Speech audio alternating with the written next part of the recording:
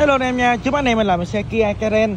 Em này được sản xuất từ năm 2011 Và là số tự động, cửa sổ trời, xe gia đình Máy số nguyên green Để cho anh chị mình chỉ có 275 thôi. Dòng Karen này là 7 chỗ ngồi Rất là rộng rãi anh chị nha. Form dáng rất là đẹp Anh chị mình mua về chứ lên xe Đồng sơn si anh em nhìn nè ha. Sơn si rất là đẹp Cụm đèn, chỗ đèn rất là mới luôn. Đó có 100 ở ờ, nhầm có 275 thôi. Thì vừa qua quay là 285 bây giờ anh để cho anh em mình 275 đó có xem là cô bớt mà có chạy thử là cô bớt anh chị nha cái mâm thì nó sẽ bị chấp sơn cái này nè, em sẽ quay cho anh em mình coi rõ luôn, nhưng mà em sẽ sơn lại.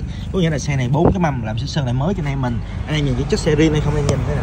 Bốn cái lồng về là bốn lồng về riêng của xe luôn, ha, chưa làm đồng bao giờ. Đó, thanh thanh dạng ở trên là riêng luôn. Đó. Anh em quan tâm thì liên hệ cho em nha.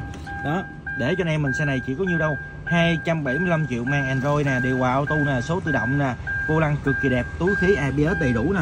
Đó, chất xe rất là mới, chị. Cam lề đầy đủ nha dàn ghế gin theo xe luôn. Nói chung là xe đi ít cây số coi như là dàn ghế còn gin trần thì gin có cửa sổ trời đó. Anh em thích mẫu này thì liên hệ cho em qua số nè. 0866 6789 71 hoặc là 0834 3333 71 nha. Giá này biết là 285 nhưng mà em để cho anh em chỉ 275 thôi. Anh em thích mẫu này liên hệ cho em. Và anh em đừng quên bấm follow kênh để cập nhật nhiều video hơn, tiệm thành Bến Tre nha.